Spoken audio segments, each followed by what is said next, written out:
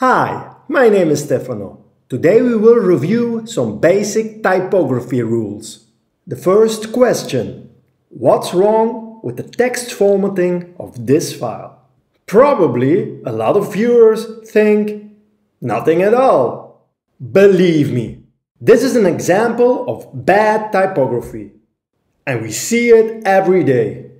So let's fix the typography of this document. We first focus on the used typeface.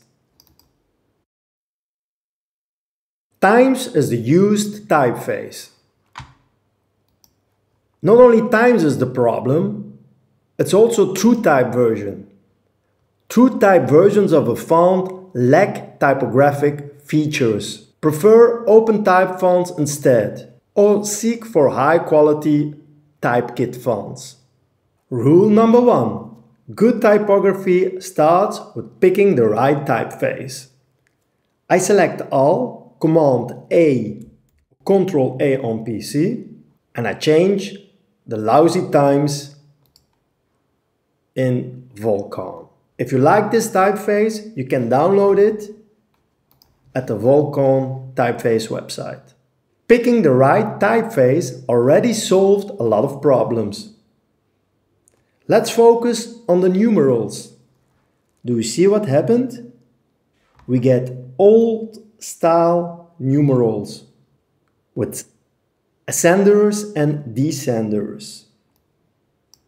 Old style numerals blend well with the rest of the body text.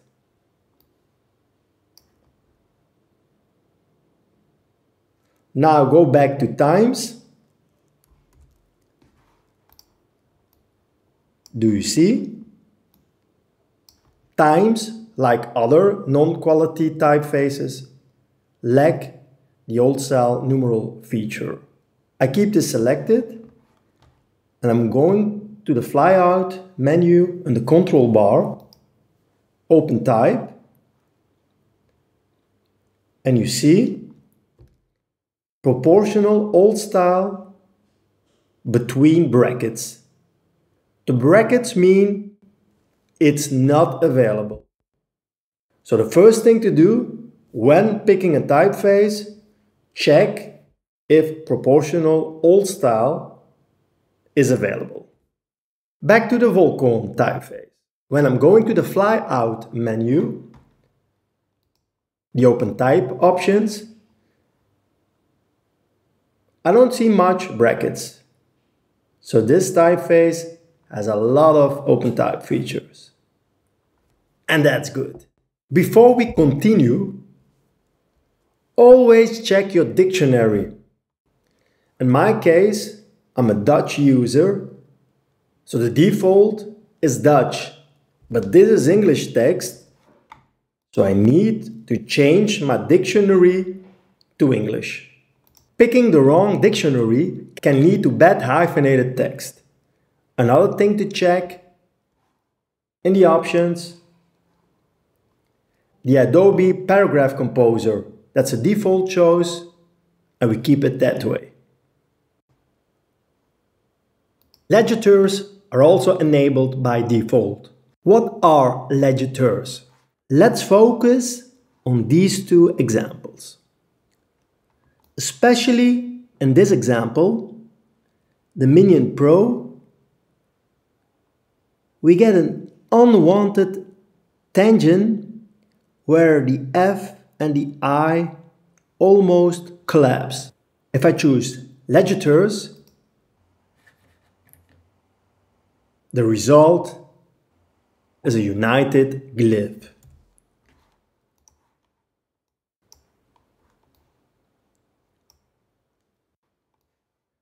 Just remember, enable the feature ligatures. A lot of designers love to justify their body text, like in this example. But justifying text the right way, it's more difficult than you think. First of all, hyphenation must be on. I'm going to the paragraph settings in the control bar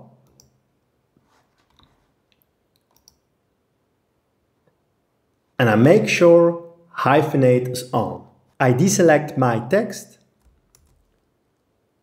Why is justifying text so hard? Because the untrained eye doesn't see the ugly gaps in the text. But lucky for you, amateurs, no, I'm just kidding. InDesign has a great, helpful feature. Let's go to the preferences. Command K. Go to Composition and check Keep Violations and H and J violations. H and J stands for hyphenate and justification. Press OK. See the yellowish color? Yellow means bad justification. And InDesign shows shades of yellow. We are going to try to banish all the yellow color.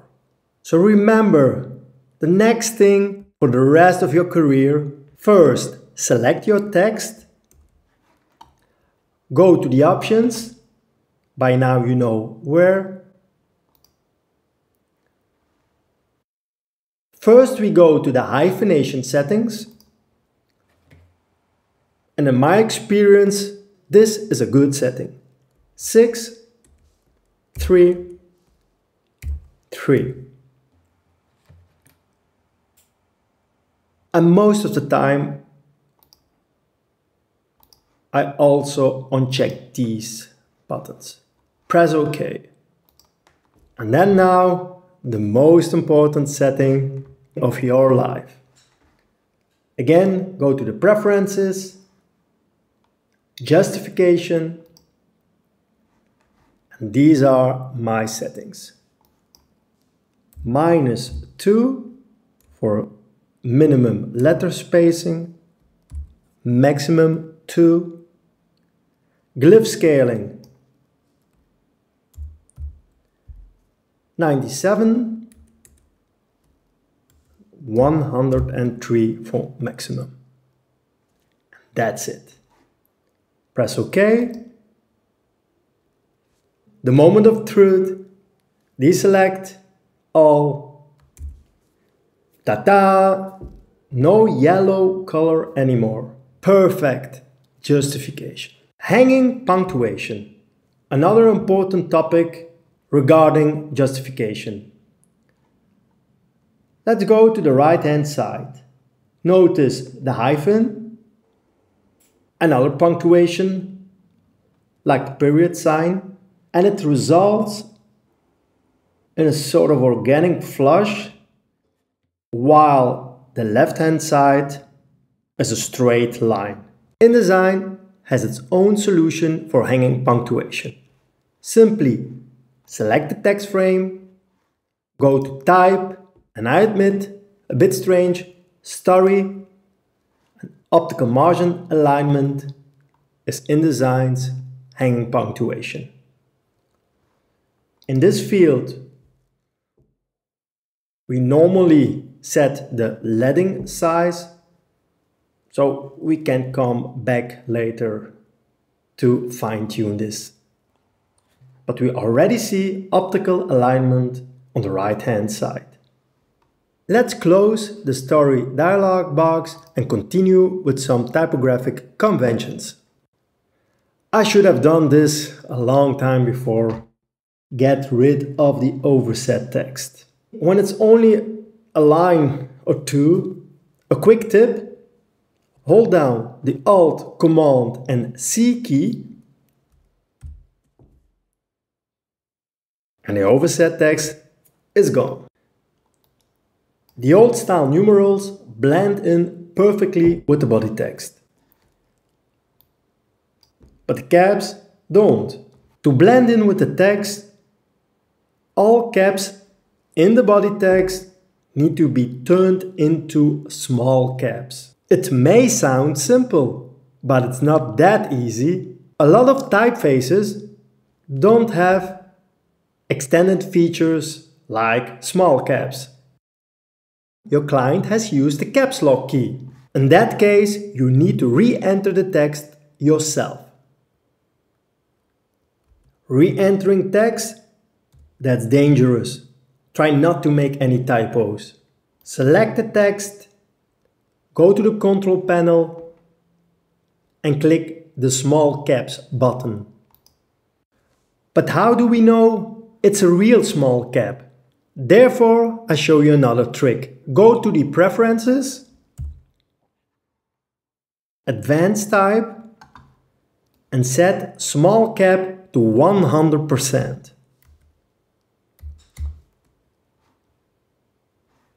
Press OK. When it doesn't change, then it's a real cap. Does the text turn into all caps then it was a full cap. Now the Roman numbers blend in perfectly. Remember, all acronyms must be set in small caps. And of course, in typography you need to know your dashes. Let's focus on the dates. We mean between 1709 until 1711. Therefore, the default hyphen must be replaced by an en dash. While the hyphen is selected, control click for the contextual menu, choose Insert Special Character, hyphens and dashes, en dash. Notice the en dash is thinner and longer than the normal hyphen. I double click the hand tool to zoom in let's focus on another common mistake. The wrong apostrophe. Back in the old days, when they were working with lead, what they did was taking the comma character and they moved it upwards. The apostrophe was born, so don't forget the apostrophe has the shape number 9. Let's zoom in. Select the wrong character. This is ugly like hell. Avoid wrong apostrophes in your design. Control click.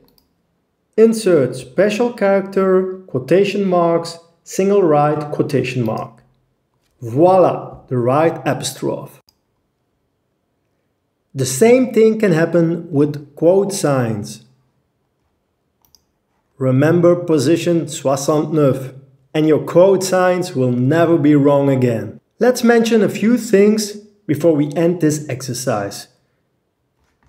We didn't focus on font size, leading and a lot of other stuff, maybe in an upcoming movie, but as a rule, the leading is 120% of the font size. Never let InDesign calculate your leading. So never use automatic leading. So I'm going to select all. Notice how InDesign changes the leading automatically when I'm changing the font size.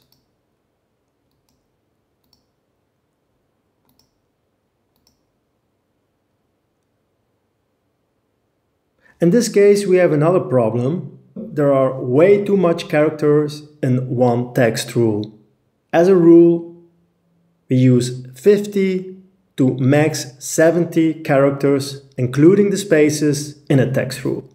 In cases like these, I use more leading than the default of 120% to increase readability. That's it. I hope you have learned something about basic typography in InDesign.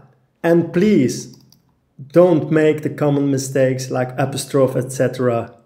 Be a good typographer. And be good to me. Subscribe to this channel. Ah, and by the way, we started from this. Do you see the difference? More videos are upcoming. Way more. Bye for now.